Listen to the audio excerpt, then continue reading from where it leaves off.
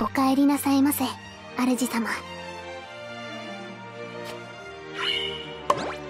私からのプレゼントです。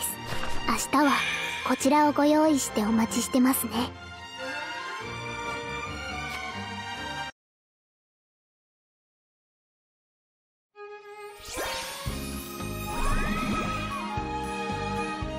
急に呼び出して何なのよ。用があるならさっさと言いなさい。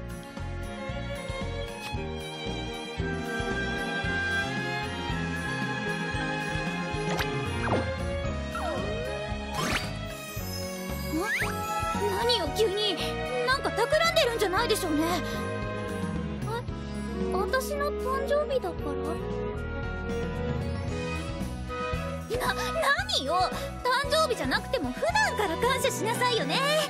あんたにはいっつも振り回されてるんだから。でもこっちこそいつも。そのありがとう。せっかくだし今日は一日私に付き合ってくれる？ちょうど荷物持ちが欲しかったのよね。べ別にあんたと一緒にいたいとかそういうんじゃないから。